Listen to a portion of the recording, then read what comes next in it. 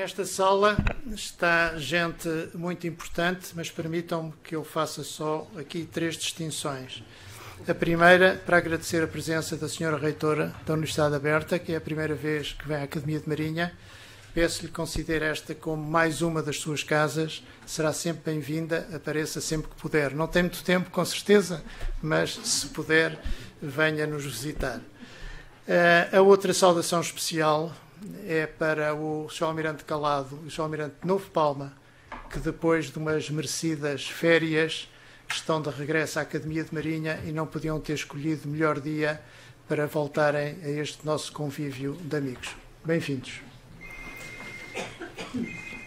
Senhores académicos, senhores convidados, sejam todos bem-vindos à Academia de Marinha neste dia que queremos seja de festa. Um cumprimento muito especial ao Sr. Professor Vítor Serrão e, naturalmente, para a autora do livro que nos traz aqui hoje. Tratemos primeiro da pessoa que está por trás do livro. Em meados de outubro de 2018, a Academia perdeu o seu vice-presidente da classe de História Marítima, o Sr. Embaixador João de Deus Ramos. Como estava a chegar o fim do triênio, nada alterei. Com a aproximação das eleições para novo mandato, convidei o professor Vítor Rodrigues para ocupar o lugar que tinha ficado vago colocando-se então a questão de quem convidar para exercer o cargo de secretário da classe de História Marítima.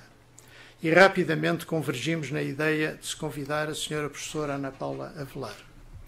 Ele, por conhecer bem o seu trabalho como historiadora, as obras por si realizadas e também por estar certo de que era uma pessoa com quem seria extremamente fácil trabalhar em equipa. Eu, por ao longo dos anos, desde 2003 que a professora é membro da Academia de Marinha, já lá vão quase 20 anos, mas principalmente durante o triênio anterior, ter podido observar uma notável assiduidade, uma participação atenta e sempre muito interveniente, uma contribuição enriquecedora na parte final das sessões, uma contagiante alegria social, sendo claro que se sentia em sua casa, que a Academia de Marinha era também a sua academia. Decorridos mais de três anos, estou certo que o professor Vítor Rodrigues, que infelizmente não está connosco, está com Covid, e eu concordamos em que não nos enganamos na escolha. A professora Ana Paula Avelar tem sido uma reconhecida mais-valia para o nosso Conselho Académico, não só na área da história marítima, mas também em termos globais. Sempre interveniente, sempre construtiva, de uma notável espessura de conhecimento e culto do trabalho e do estudo, tem revelado uma permanente preocupação para que a Academia continue a subir no reconhecimento nacional e na projeção internacional através da excelência académica, da competência e do rigor que lhe correm nas veias. O seu sentido de organização obriga a ter vários cadernos de apontamentos, um apenas dedicado à Academia, de que todos beneficiamos, certamente mais rigoroso do que as atas oficiais das reuniões do Conselho Académico, a ele recorremos quando já ninguém se lembra do que foi dito ou decidido, onde e quando. A ela se devem contributos significativos para a melhoria das normas redatoriais, para as edições e divulgação da filmagem das sessões, para que os nossos trabalhos de maior significado possam chegar ao universo da língua inglesa, bem como para o saldo, salto notável que deram os nossos simpósios internacionais de História.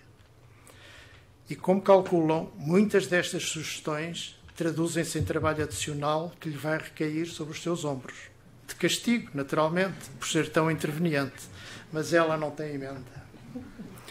Por tudo isto, o Sr. Professor Vitor Rodrigues e eu próprio só temos uma palavra a dizer. Obrigada, Ana Paula.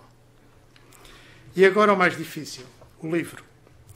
Digo difícil apenas porque não é fácil para alguém da área das ciências exatas, do mundo das matemáticas e das físicas, pronunciar-se sobre uma obra desta dimensão e densidade.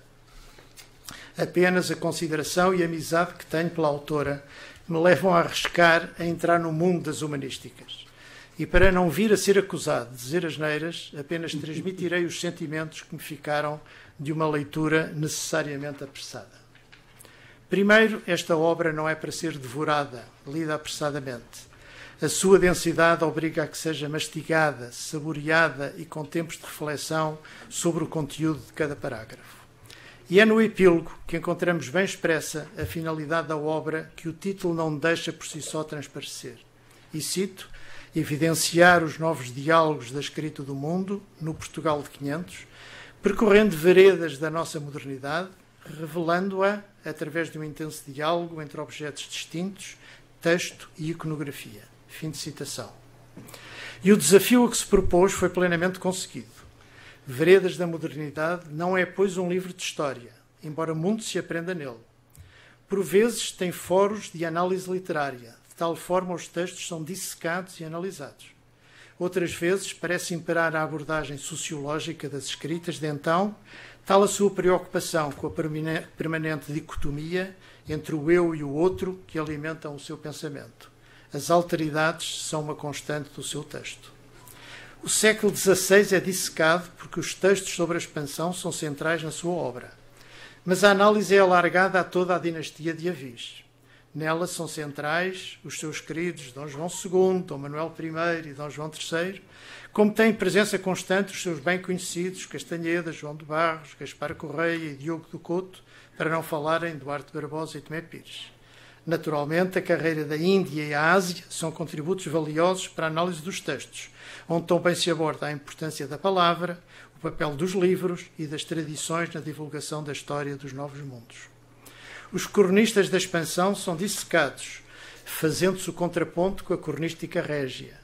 São abordados os vários tipos de renascimento e é feita a análise da escrita com base no experiencialismo e na importância de conhecer os factos por contraponto à escrita do fantástico, não tendo ficado esquecidas as utopias que nos foram oferecidas. Trata-se de uma obra notável que, do princípio ao fim, se tenta fazer, em que se tenta fazer e é feita uma descodificação dos paradoxos da construção historiográfica. Voltando ao epílogo, houve dois aspectos que me marcaram. O primeiro, quando se diz, e cito, que a função dos estudos históricos é, por excelência, olhar para o passado, desvendar a sua inteligibilidade e conhecermos melhor a nós próprios. Fim de citação. E este livro cumpre com todo o rigor esta definição.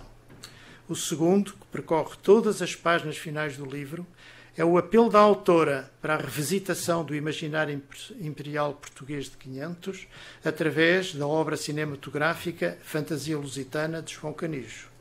Ao aceitar este convite, dei comigo a pensar que esta obra da professora Ana Paula Avelar é um completíssimo guião de um filme que nunca se fará, mas que só por si exercita e muito valoriza a memória de nós portugueses, cidadãos do mundo, já em 500. Releva a existência de uma extensa lista bibliográfica, exatamente 20 densas páginas, de Albuquerque Zurara, naturalmente, de que 20 títulos são da autora a honestidade intelectual de Ana Paula Avelar só permite concluir existir uma sólida preparação de base e que esta obra é o resultado de sucessivos estudos e trabalhos feitos e oportunamente publicados ao longo de muitos anos. O texto está pleno de citações que enquadram os vários pontos abordados e os ajudam a dissecar. É curioso que, sendo, um livro, sendo este livro uma obra analítica por excelência, não deixa de constituir uma enorme síntese de anos de reflexão. Mas houve uma citação de Aristóteles que fixei. O historiador e o poeta diferem não por escreverem em prosa ou em verso. Diferem sim em que o primeiro diz as coisas que sucederam e o outro as que poderiam suceder. Não sou historiador nem poeta, mas o que lhes posso garantir é que este livro merece ser lido e estudado e no fim todos os que o fizerem vão dizer obrigado, Ana Paula. Muito obrigado.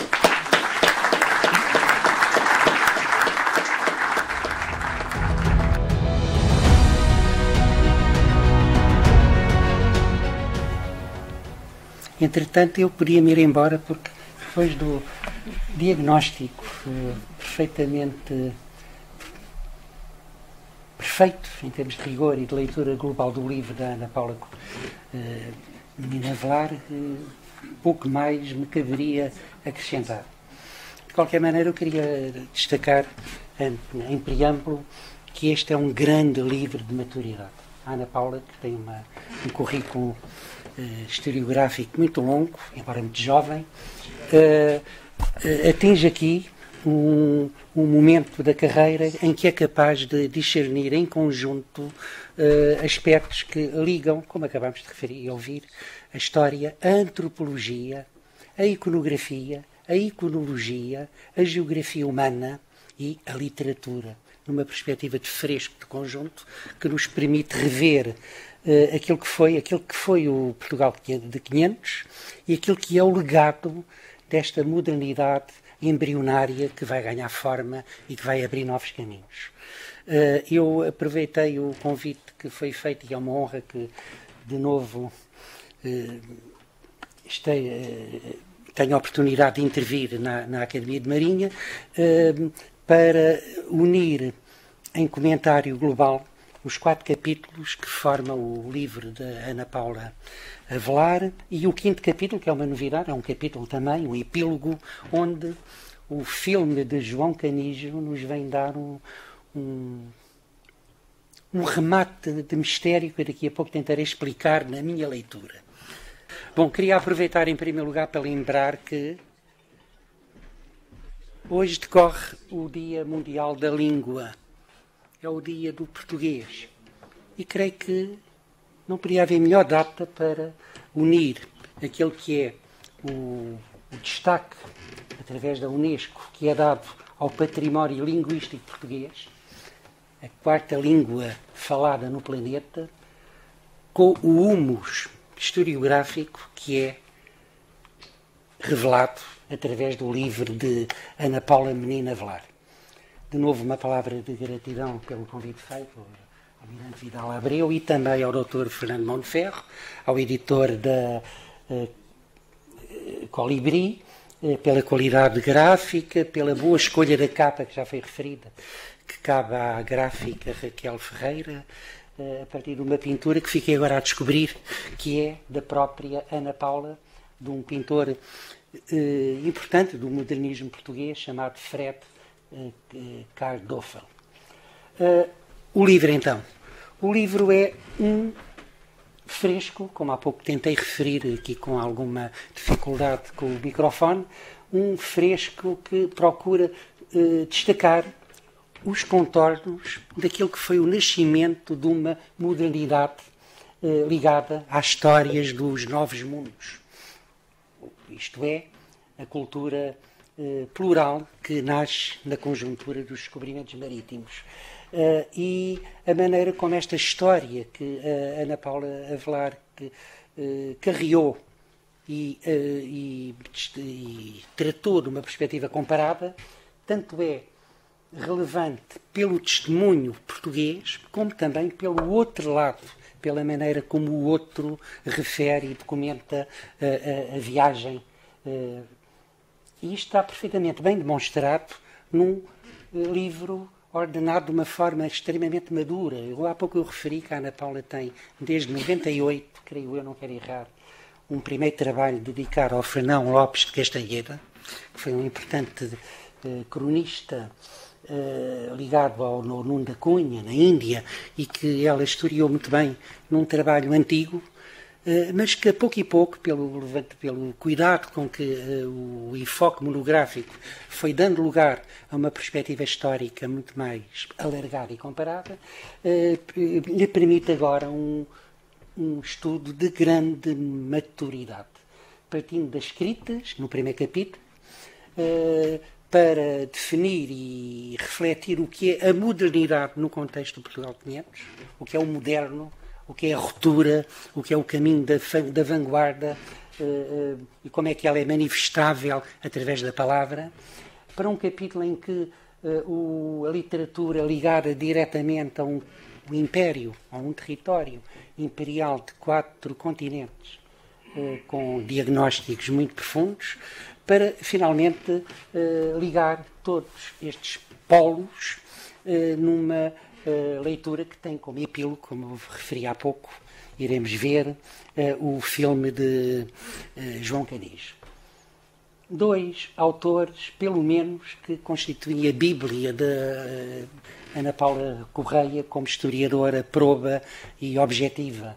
O primeiro é o Paul Ricard, que continua a constituir uma fonte obrigatória para quem trabalha em história, memorial, história, l'histoire, la mémoire, l'oubli, é um livro que continua a constituir um, um, um ponto charneira para quem investiga a microhistória, como este trabalho efetivamente eh, bem testemunha, e a leitura do, eh, do Dr. Fernando Catroga, dos Caminhos do Fim da História, entre outros eh, textos que tornam o livro tão rico e tão, e tão fascinante, ao lembrar que a história é um território permanentemente em aberto e que é nesta perspectiva uh, de, do risco que uh, a leitura antropológica, porque efetivamente é de, aquilo de que tratamos, é a tentativa de descobrir uh, o homem que está a palpitar neste contexto, importa destacar.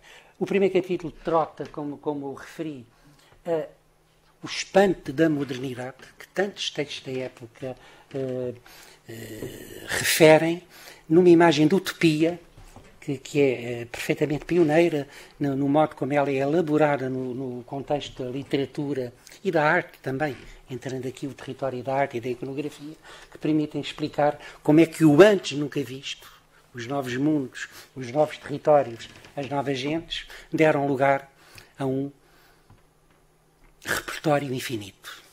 Primeiro capítulo, História dos Novos Mundos. É um capítulo mais expectável, na medida em que há um levantamento de autores que uh, Ana Paula tem vindo a trabalhar há muito tempo, já foram referidos. Diogo do Couto, Fernão Lopes de Castanheda, uh, uh, Lisboa quinhentista, efetivamente como o ponto de partida e o ponto de chegada, aquele que é um antro de vulcano de, de, de, contornos medievais e que a pouco e pouco, a partir de 1500, vai constituir o primeiro grande mercado livre do mundo, uh, com a Rua dos Mercadores, onde todo o tipo de mercadorias vindas do Oriente, da costa africana, de Marrocos, do Maghreb, uh, da Índia, estava disponível para o descobrimento do mundo. Uh, e é nesta perspectiva de cronística que a Ana Paula refere que o. Já vem. Eh, que ela refere que há uma historiografia reinícola ligada à ideia de novos mundos, perfeitamente distinguível na literatura que de, eh, de Rui de Pina, uh, Fernão Lopes de Castanheira, ao Andrada, ao João de Barros de Brandão de Buarcos, a Cristóvão Rodrigues de Oliveira, a Damião de Góis, vão pontuando todo um caminho em torno da ideia de maravilha, de, de, de nunca visto. Uh, e aqui há um aspecto que eu gostava de lembrar, porque é uma novidade, aprendi o facto do papel que tem Montaigne neste contexto. Uh, leitor atento de Fernão Lopes de Castanheda, que tem, quando deixa Coimbra, onde esteve, deu aulas de retórica, de latim, de grego em Coimbra, uh, e no colégio de Guiane, vai ter como discípulo Nicolau de Crouchy, que é uma figura extremamente importante porque nos abre uh, para a uh, probabilidade muito grande de este uh, eco, este eco dos descobrimentos do Oriente por via de Fernão Lopes Castanheira tenham chegado a um público europeu muito mais vasto do que podíamos imaginar. Este é um testemunho entre muitos que o capítulo da Ana Paula propõe para leitura e para trabalho. O que torna o livro também uma, um laboratório vivo para novos investigadores. Eu, eu próprio fartei-me tirar notas de textos que nunca li ou que não imaginava que eram tão importantes. A imagem do rei, evidentemente, os reis que eh, envolvem o, o contexto desta narrativa de novos mundos, com, a, com o papel de eh, iconograficamente muito empenhado numa imagem de poder e de mundo e de globalidade de entendimentos que Ana Paula também descreve e, e destaca com muito pormenor nesta ideia de império eh, pautada por uma, como é que eu hei de chamar, um, um, um mito primordial de descobrimento, que é também matéria de tema de trabalho. Uma figura que não é muito referida habitualmente é o, é o poeta Jerónimo Corte Real ganha aqui também um papel relevante e de novo no quarto capítulo, eh, não tanto pelo não apenas pelo poema que escreveu relativamente a Dio, que é um poema de homenagem ao herói improvável, Portugal é o povo português, através de um rei menino, uh, ungido na, na, na, imagem à esquerda por Marte e Minerva, e que era também, acrescento eu agora, um pintor amador com alguma qualidade, teve contactos com o humanista Benito Arias Montano, uma figura fundamental da história do Renascimento ibérico, uh, que uh, privou com o Damião de Góis e que tem um papel relevante até pelo facto de, eh, em vários textos de doutrinários, ter pugnado por uma ideia de que a arte, a cultura artística, era o maior remédio para os males do mundo. Portanto, numa perspectiva ecuménica de encontro e de diálogo de culturas. É importante aquilo que a Ana Paula carreia para a figura do Jerônimo Real, que eu gostaria muito de ver ainda eh, tema de livro, e quem melhor que a Ana Paula para o tratar. Há muito material ainda a descobrir. A ideia de utopia também aqui algo que uh, irrompe, inevitavelmente. Há uma utopia. O, o investimento de descobrimentos do mundo parte de uma ideia que radica, evidentemente, no, no, no, no Moro, eh, mas não apenas. A própria ideia de Goa como Nova Roma, como, uh, como a Nova Lisboa, como o Empório, a Goa Dourada do Oriente, eh, que o Linchota aqui trata no itinerário, a obra também muito referida no livro, remetem para a mesma ideia de utopia, de Eldorado, de mundo perfeito, eh, e tem eco em muita da cronística da literatura de viagens do tempo, Dom João de Barros, Damião de Góis, eh, numa perspectiva italiana, que, que, em que a ideia de reconstruir o mundo numa perspectiva de utopia, é um objetivo, é um, é um campo de trabalho perfeitamente eh, agendado. Todo este capítulo, que eu estou aqui a tentar abreviar da melhor forma, encontrei eco na pintura. Não é um campo que a Ana Paula tenha aqui aprofundado, nem tinha que aprofundar, mas quem vê a pintura do Renascimento português período Manuelino e Joanino, encontramos um fundo de pintura com arquiteturas imaginárias, inconstruíveis, que, como no Gregório Lopes, provavelmente é o melhor testemunho de uma pintura de corte, com este cuidado eh, pelo, eh, para, pela utopia de reconstruir o mundo, como nos retábulos da Igreja de Valverde em Évora, que tem também é que, ao mesmo tempo, também em Évora, na, na arquitetura que é feita o Chantrenne, para não ir mais longe. Portanto, uma ideia de que a arte, como a literatura de viagens, como esta utopia do novo mundo, tem um caráter ecuménico e que procura, pelo menos na agenda, pelo menos no, no investimento dos maiores vultos que a trataram, um objetivo de bondade inata. Eh, eu acrescento um quadro que é inédito, foi restaurado agora e, portanto, é uma novidade. Um pintor de Coimbra, eh, chamado Bernardo Manuel, que num retábulo no limiar do Renascimento e no, num tempo já de contra-reforma, foi capaz de imaginar uma utopia na linha do Polifilo, do Francesco Colonna, eh, na linha camuniana, que é perfeitamente incognoscível, encantatório como tal. o pintor é este, Bernardo Manuel, não é agora o momento de falar dele, em, oportunamente haverá oportunidade de descobrir um pintor que foi calígrafo, iluminador, uh, escritor, que trabalha em Coimbra com o João de Ruão e que tem uma obra que era até agora, até há muito pouco tempo, completamente ignorada e que, como uma luva, acrescenta forma, cor, movimento, perspectiva e encanto, e encanto eh, pictural tangível àquilo que os escritores da Ana Paula também descrevem. Este novo mundo eh, como utopia da maravilha, reconhecível também. Eh, havia muito para discutir a pretexto da Ilha da Utopia eh, e recorrendo ao Prémio Nobel, fica para outra vez, não há tempo, mas vem mesmo a, a lembrar é bem lembrado que esta utopia é uma procura de nós próprios também, em primeiro lugar. Uh, bom, primeiro capítulo, como veem, é um ponto de partida de levantamento crítico das, das fontes que uh, descrevem este novo mundo.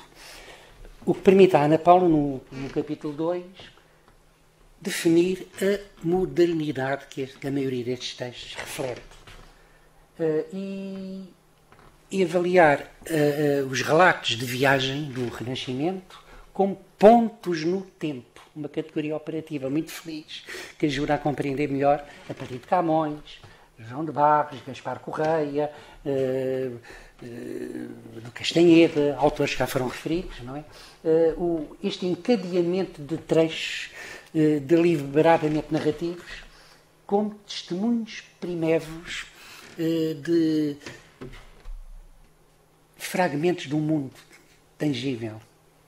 Portanto, ponto de encontro também entre povos, culturas, línguas, religiões eh, e geografias.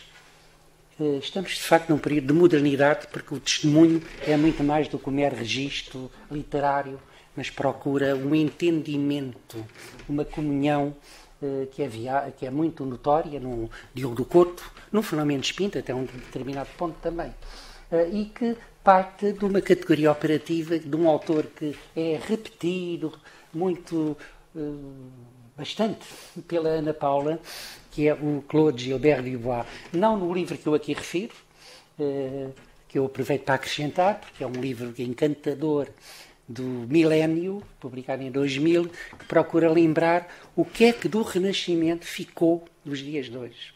E é tanto. A ideia de mundo global, a ideia de descobrimento de nós próprios, a ideia de utopia, a ideia de liberdade criadora, a, ideia de bem patrimonial, património como um bem comum. Tudo isto, estaríamos aqui há muito tempo a, a reler o Claude Gilbert Duvall, que é um autor fascinante e que não é um historiador de arte, mas que neste livro nos dá a nós tanta ferramenta para ver melhor o património.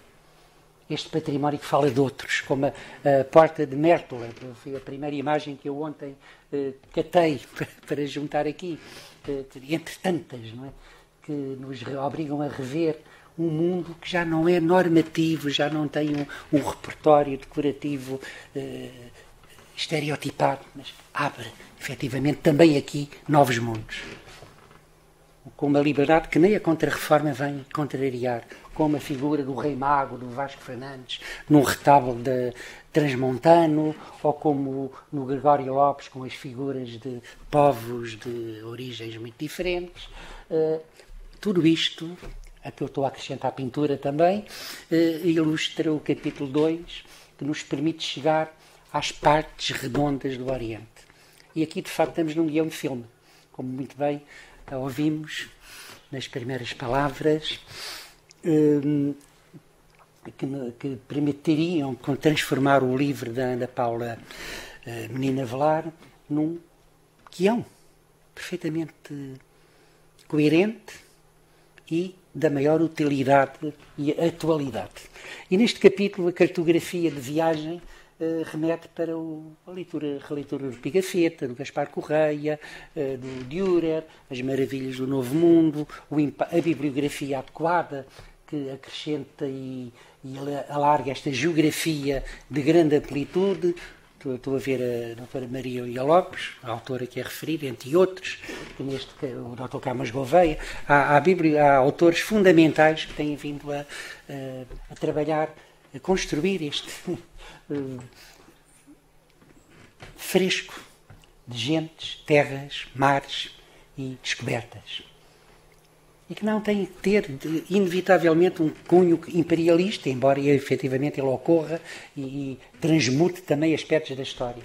Tem a ver, primeiro que tudo, com um descobrimento genuíno do outro, como um álbum de Roma, uh, teria também a oportunidade de falar um bocadinho dele, não há muito tempo, mesmo que com a ingenuidade que tem, é um álbum com uma história perfeitamente épica, porque entregou a Lisboa uh, e vários proprietários acabou por chegar a Roma e, e, descreve o papel do português no Oriente, os vários contactos que tem, os conflitos também. Uh, e, e, o papel que tem, este é o aspecto que eu gostava aqui milimetricamente de indicar, o papel que tem na pintura que é feita em Lisboa, em Coimbra, em Évora, diretamente ou indiretamente a partir de fontes literárias.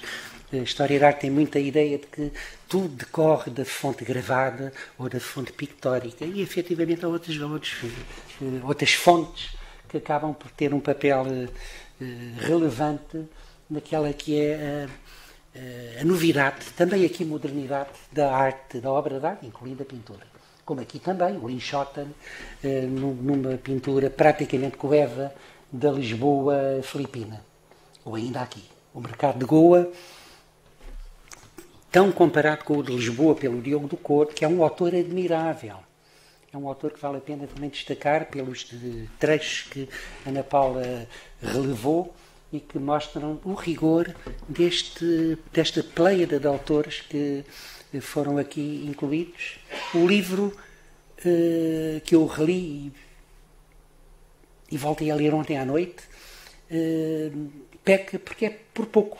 Efetivamente, há páginas que, que esperávamos mais, até por autores menor, ditos menores que vêm à, à, à baila e que, nomeadamente na questão da imagem do outro, a Ana Paula também aqui inova e eu me permito-me, nomeadamente na imagem do índio, lembrando que o índio, o mouro, o outro tem por hábito na literatura e na arte eh, uma imagem benquista e não negativa. A primeira imagem, que, nomeadamente do índio, eh, no Atlas Miller, na pintura do Vasco Fernandes, eh, é uma figura dos novos mundos que não tem marca do pecado original que é uh, identificável com os povos ante, antediluvianos que não, tive, que não pecaram.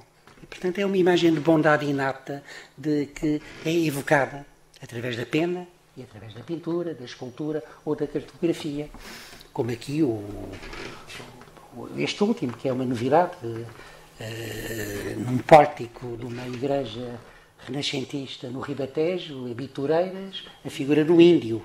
Uh, Portanto, há uma iconografia também por descobrir, da mesma maneira que Ana Paula descobre que há uma história de viagem anterior a esta imagem negra que o Linchotten fará divulgar e outros do português corrupto, lascivo, incompetente, eh, prepotente eh, e, e, e, e, perfeitamente eh, autocrático nas né? atitudes para com o outro eh, eh, e que vem, portanto, criar uma lenda negra, nomeadamente na Índia. Eh, há todo um mundo de textos que destacam justamente a outra perspectiva, uma nova, uma nova reperta capaz de ver o mundo como um descobrimento em nome da modernidade.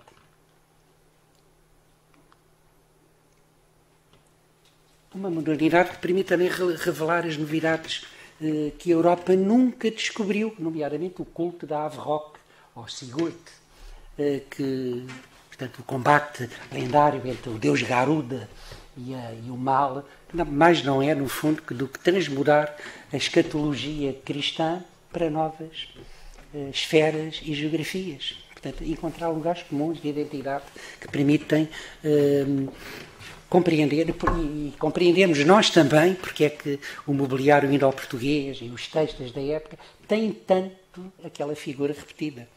Enquanto eh, que eu não, não tenho agora tempo a discutir, obrigaria a, a falar do pigafete e obrigaria a transformar o livro, que é uma boa ideia, transformar o livro da Ana Paula Correia num tema de colóquio. Um tema, uh, Ana, desculpa, Ana Paula Avelar. Uh, Ana Paula Menina Velar, desculpa o ato falhado, estava com a, a mente no Diogo Correia, no, no Gaspar Correia, desculpem.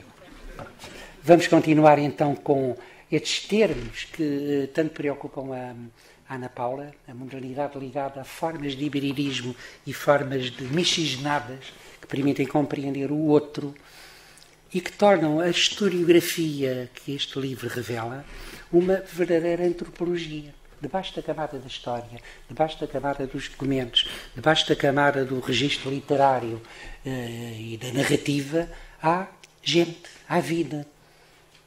E é neste patamar justamente que os textos que aqui foram destacados ganham outro valor e outro entendimento. Chegamos então ao capítulo 4,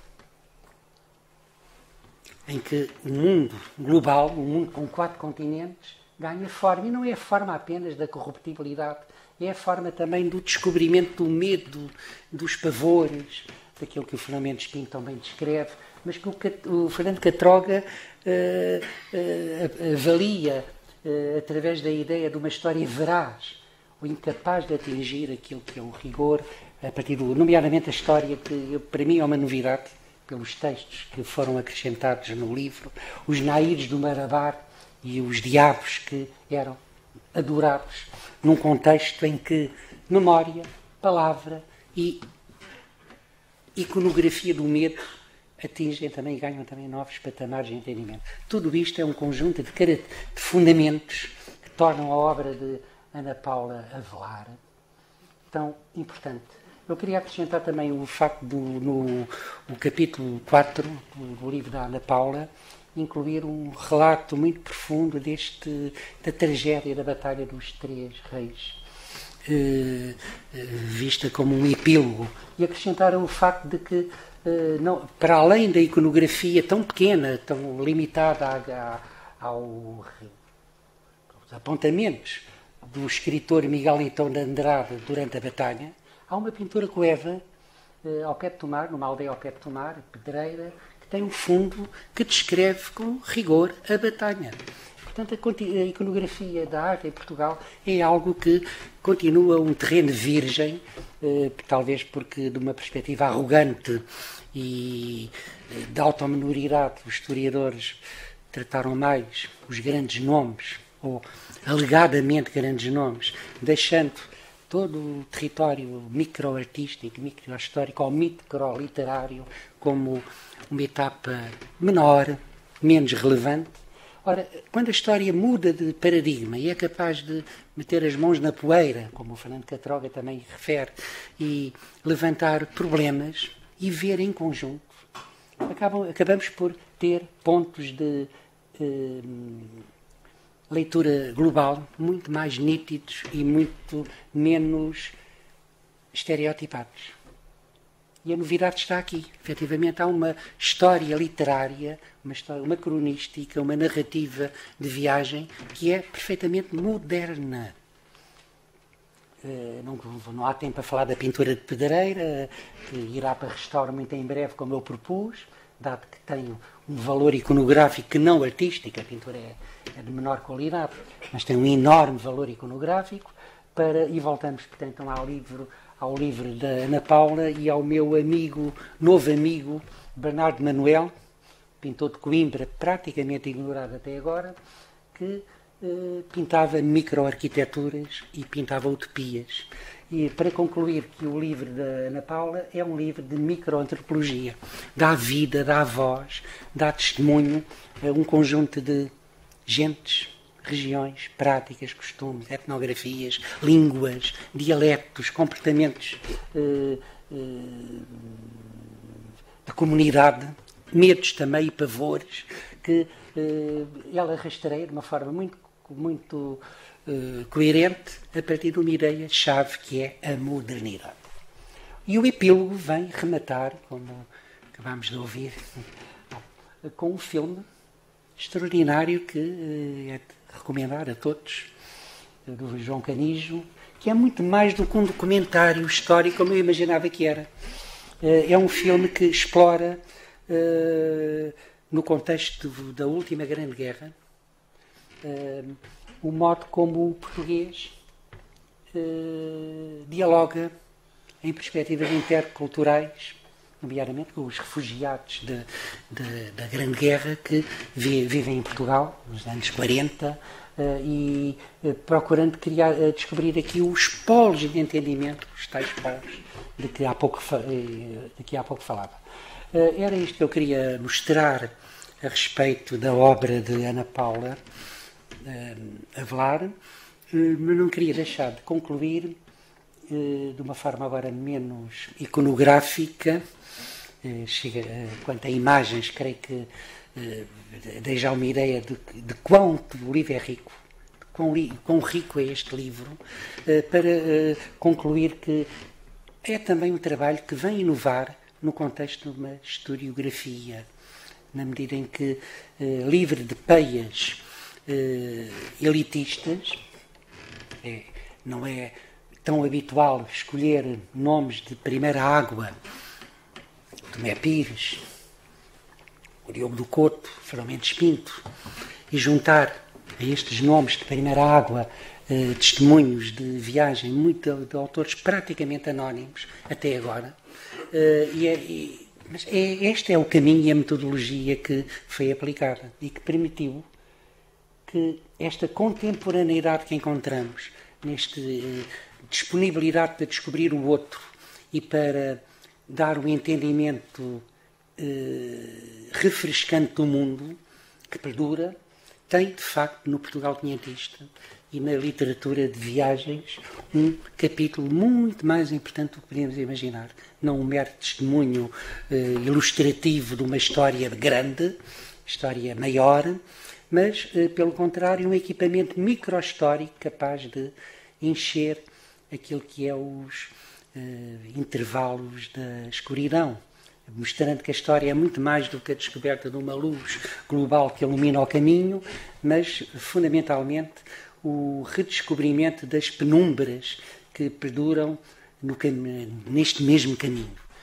Parabéns, portanto, à doutora Ana Paula uh, Menina Velar, pelo livro de maturidade que, no, que publicou, que é um grande momento para a história. Espero que este livro venha a ter uma grande fortuna uh, inspiradora, pelo menos para novos historiadores e investigadores, que permita levar a cabo um aprofundamento das pistas que as notas de rodapé têm, quer a bibliografia, quer as notas de rodapé. Eu ando aqui há muito tempo uh, e na bibliografia da Ana Paula encontro livros, artigos que nunca li. Uh, e, quando nos deparamos com estas lacunas, creio que uh, ficamos mais ricos também. Não, não, não, há, há, é a prova provada que uma obra literária e historiográfica como esta é útil. Termino apenas com a palavra de que eh, Ana Paula eh, prova que pode haver mais história para além do documento escrito, do documento literário e até da própria iconografia, que ela maneja muito bem. Eh, é a perspectiva numa antropologia da história, que eh, o livro, de que o livro é um muito bom testemunho. Muitos parabéns e muito obrigado.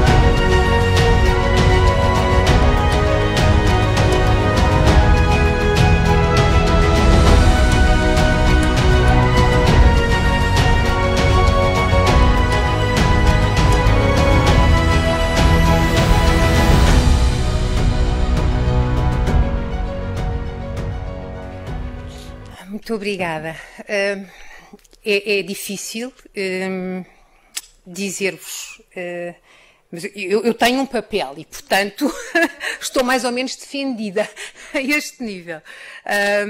e porque, porque realmente este é um momento muito feliz, mas eu vou-me socorrer do papel, eu penso que, que, que, é melhor, que é para não me perder, porque de certo me vou perder, porque estou realmente muito comovida, como devem perceber. Uh, e, antes de mais, não posso deixar de expressar uh, um profundíssimo agradecimento, um agradecimento muito especial ao Presidente da Academia de Marinha, ao Almirante Francisco Vidal Abreu, uh, e na sua pessoa a todos os que nesta Academia, mas não só nesta Academia, na Marinha, eu costumo dizer, não aqui, mas lá fora, muitas vezes, que fui adotada. Uh, pela instituição marinha e sinto-me realmente adotada pela instituição marinha. E um, este, esta adoção uh, permitiu-me, enquanto no meu, outro, no meu trabalho de historiadora, uh, onde eu vou revisitando exatamente o passado, reencontrar o presente e o passado. E, portanto, esta adoção, enquanto investigadora e historiadora, fez-me crescer. E este livro é também um espelho dessa revisitação. Revisitação passado-presente. Agradeço muito a presença da reitora da minha universidade, da Universidade Aberta, a professora doutora Carla Padrel de Oliveira, e na sua pessoa, eu já tive a oportunidade de individualmente eh, poder falar aos meus colegas, aos meus colegas, colegas docentes, colegas não docentes, aos meus colegas, portanto, e na sua pessoa, agradecer exatamente o facto de ela estar aqui, deles estarem aqui comigo, uh, porque já são muitos anos, não digo quantos, que é para não ficar, portanto, muito, com muita idade, mas partilhei e vou partilhando a fazer perspectivas, caminhos e também muitos, uh, muita vontade de continuar a trabalhar que todos nós temos exatamente naquilo que é uma academia academia, neste caso, uma universidade e as universidades. Agradeço, uh, e agora vão ser muitos agradecimentos, eu peço desculpa, mas vou repetir, mas tem que ser. Agradeço igualmente a presença uh, da professora Manuela Mendonça, porque ela também foi minha professora e, portanto, na figura dela e de todos os seus académicos, com os quais também me cruzo aqui e noutras instituições, uh, me possibilitaram, me formaram quando eu entrei exatamente para a universidade e, portanto, uh, essa formação é uma formação importante que nós vamos sempre reconhecendo e vamos sempre revisitando.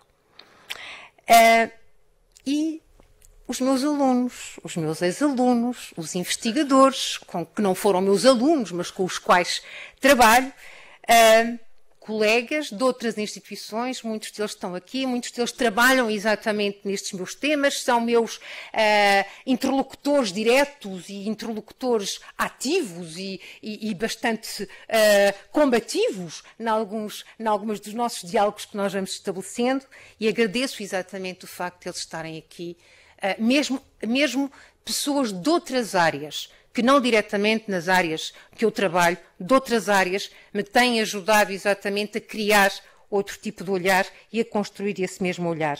E este livro realmente, a estes colegas, a todos os amigos que me vieram, que me puderam estar aqui uh, comigo uh, e que não, quando não puderam me, me comunicaram, foi, é, é muito salutar exatamente esse momento, porque esses meus amigos, também me possibilitaram, muitas vezes de áreas completamente diferentes, mas me possibilitaram outros olhares, outras interrogações e outros autores.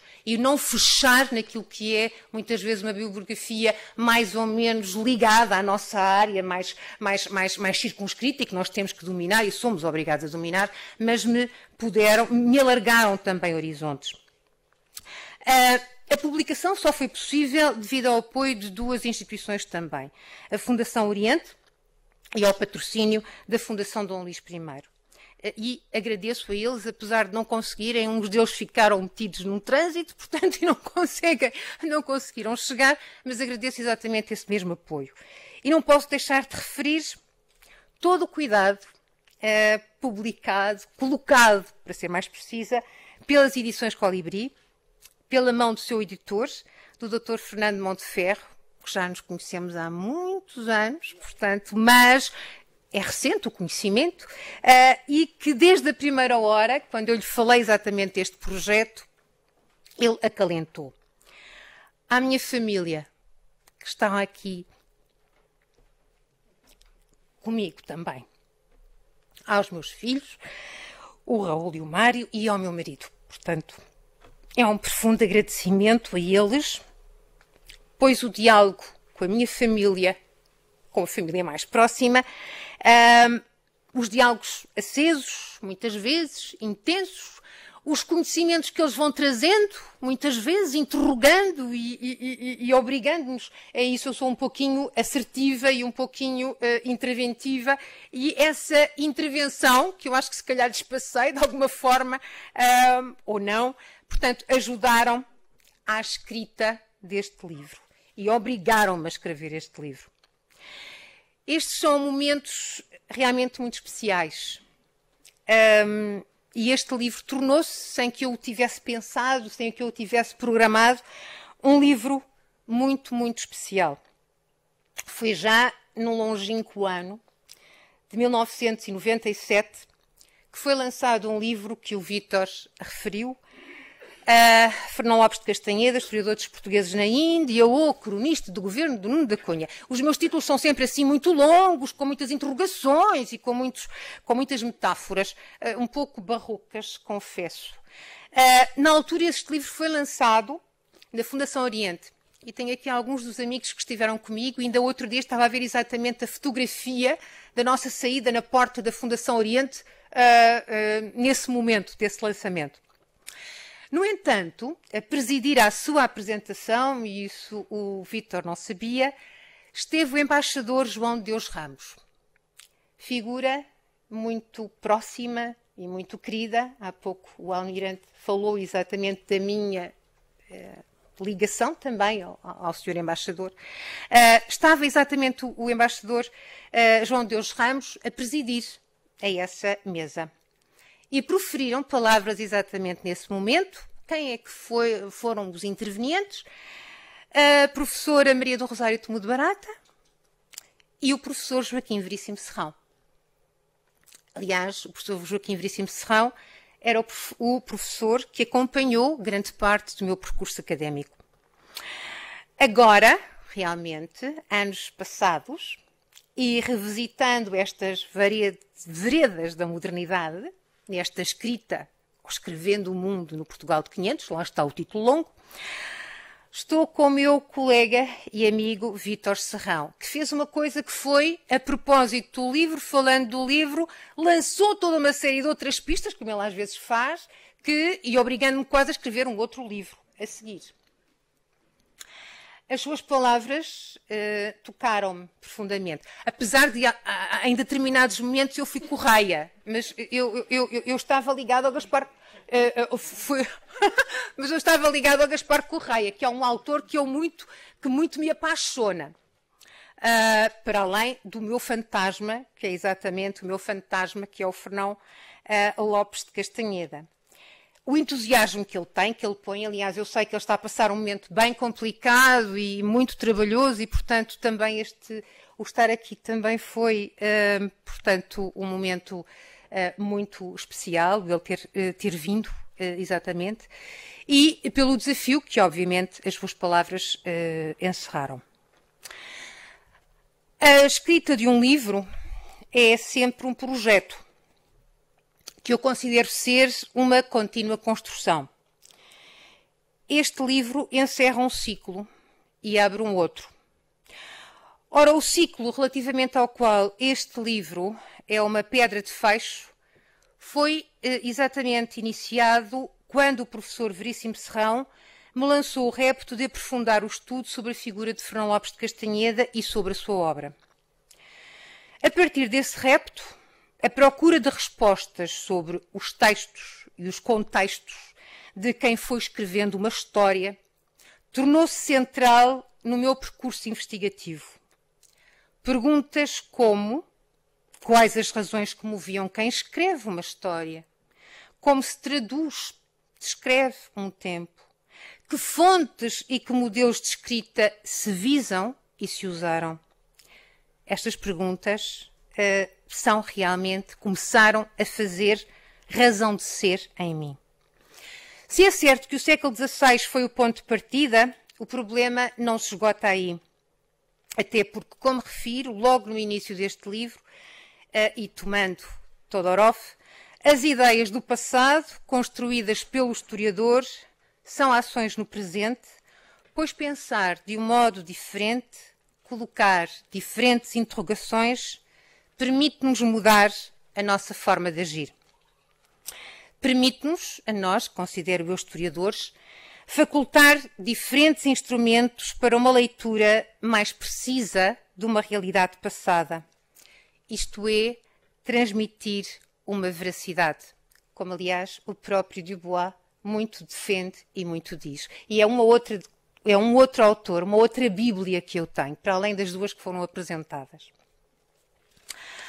Um, ora, foi esse exercício que fui fazendo ao longo de alguns livros e ensaios. Ora, comecei, como já referi, pelo aprofundar, e por isso é que eu queria vos mostrar exatamente esta pedra de faixo. Comecei exatamente por aprofundar os olhares sobre um autor, Fernão Lopes Castanheda uma, e uma obra, portanto, a sua história do descobrimento. Uh, não deixando, no entanto, de procurar ler um tempo através da revisitação de vários tipos de narrativas que no século XVI descreviam, neste caso ainda estava eu a trabalhar, a história de uma presença no espaço asiático. Escrevi uma obra intitulada Visões do Oriente, Formas de Sentir no Portugal de 500, e nela peregrinei por vários autores, alguns deles que eu fui aqui revisitando e outros que, entretanto, fui descobrindo. Peregrinei por vários modelos de escrita, várias formas de ver e sentir outros espaços e outros povos. Foi, aliás, um dos tópicos centrais de toda esta minha investigação. De seguida, concentrei-me numa das vertentes de um modelo de escrita da presença portuguesa, a cronística da expansão, e foi realmente um core da minha investigação. E escrevi um outro livro ensaístico sobre as representações de um mundo novo no Portugal de 500. Visando então Antes disso, tinha já escrito as figurações da alteridade na cronística da expansão e depois, realmente, toquei as representações.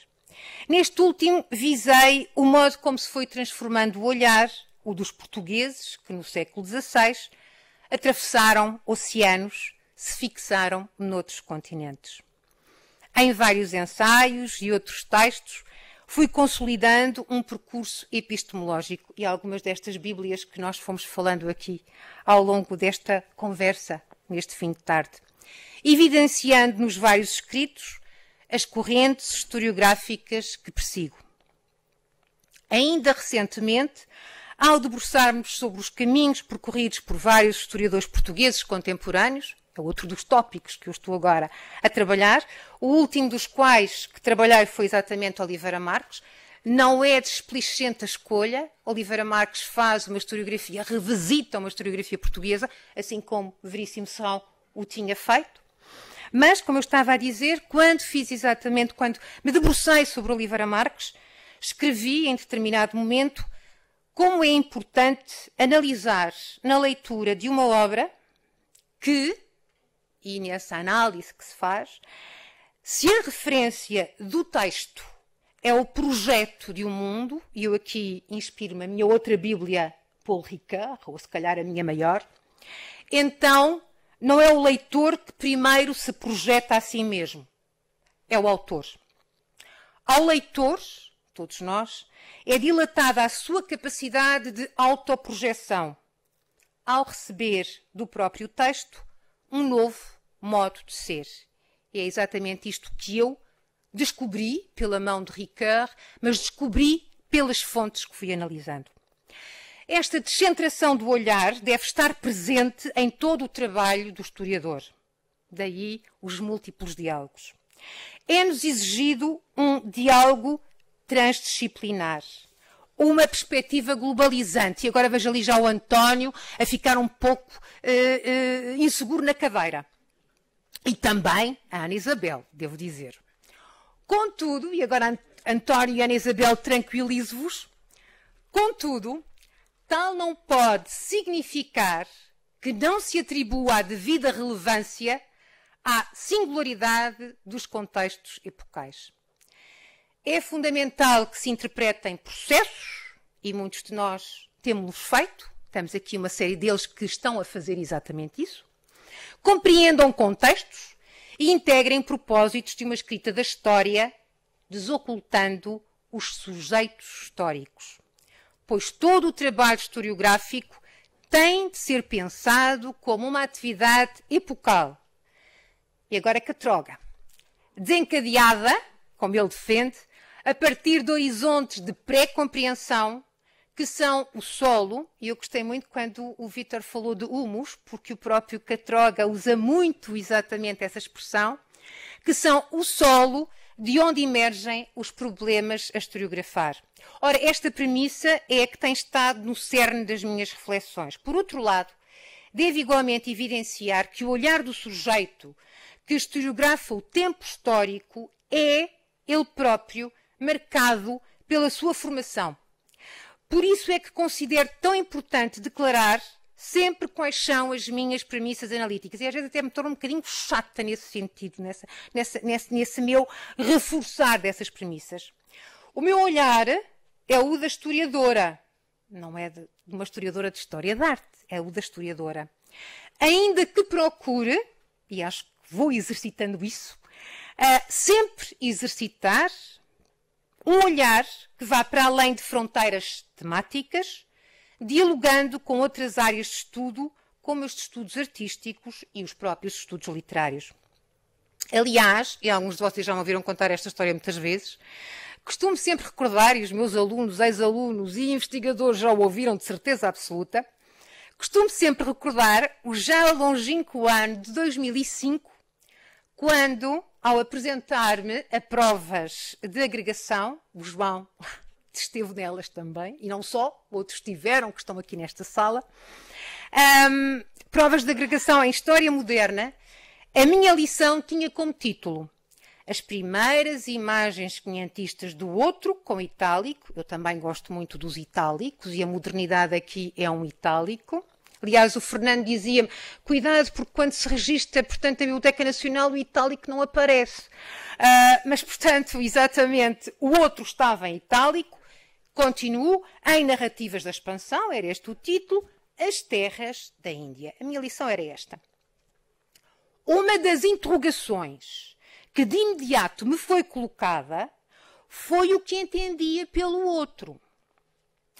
Em 2005, 2006, no âmbito dos estudos históricos, o conceito de alteridade e a análise sobre a sua aplicabilidade nesta área do saber não era canonicamente aceite como um exercício historiográfico, como um exercício de uma historiadora, naquele caso. As coisas mudaram muito e ainda bem.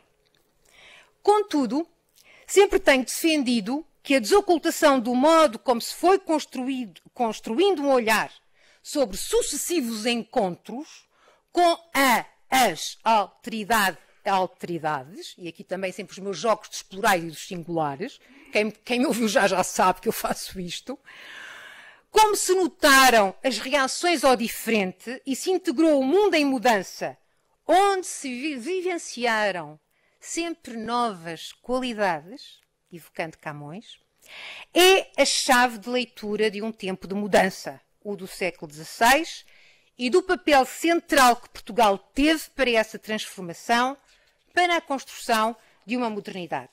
Assim, para além das interrogações e reflexões sobre uma época, sobre, um, as, sobre um, uma escrita do mundo através dos discursos historiográficos produzidos no Portugal de 500, evidenciam-se vetores construtores de um saber. Evidenciam-se as suas veredas. Algumas das suas veredas, como foi a afirmação das línguas vernaculares, como também Ana Isabel se, portanto, defendeu e, e, e conhece. Refiro este aspecto, até porque hoje se assinala o Dia Mundial da Língua Portuguesa.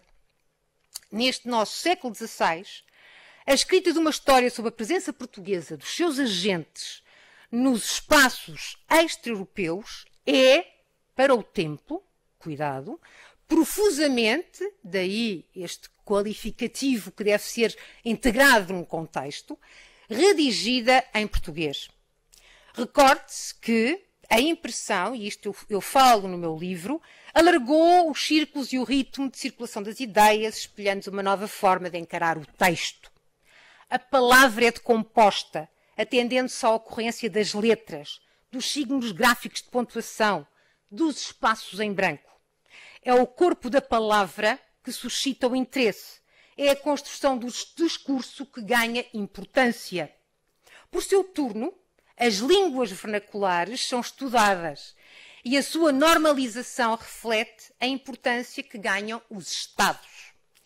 Pois assiste-se ao implementar pela Europa renascentista, no seio de cada Estado, ao uso de uma mesma língua que se pretende normalizada na comunicação e na administração.